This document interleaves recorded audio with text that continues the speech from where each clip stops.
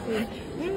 は本当に、はい、今日はありがとうございました。今日福島からそうですね。はい。福島からすごいはるばるありがとうございます。いえいえ本当に逆にありがとうございまして、こういう機会をいただかないと、今のちょっと自分の殻から抜け出せないところがあって、ただあの皆さんがおっしゃってたように、絶対に今日来れたっていうことは、私は偶然偶然ではないと思ってきましたので、でも本当に会長様のお話聞かせていただいて、正直自分の中でも全てが答え合わせになったんですね。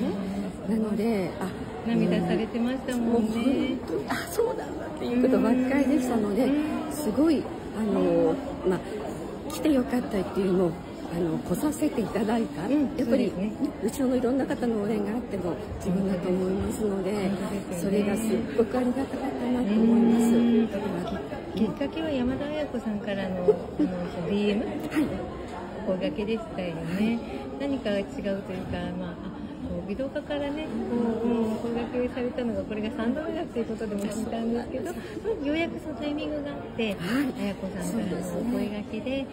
あじゃあ行ってみようかなってことでね、はい、でも行く前からここ来られる前からもう何かいろいろと感じてらっしゃったということなんですけど。うんですから本当に今日来させていただいたタイミングだけでもすごくありがたいなと思ったのにその上会長様までちょっとねなかなか動けなかったのに来てくださるっていうことを聞いた時にあ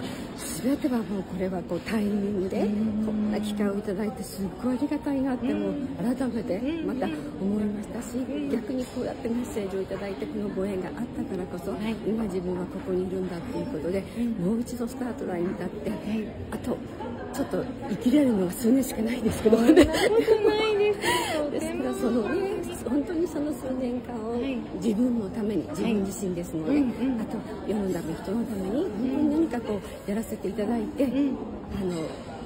うん、楽しかったなって言ってここのステージを終わるっていう形でね。できればすごく時まで、じゃあ共にね、本当にもうもうもう美容家ですのでもう美容家として本当に活動していっていただければあの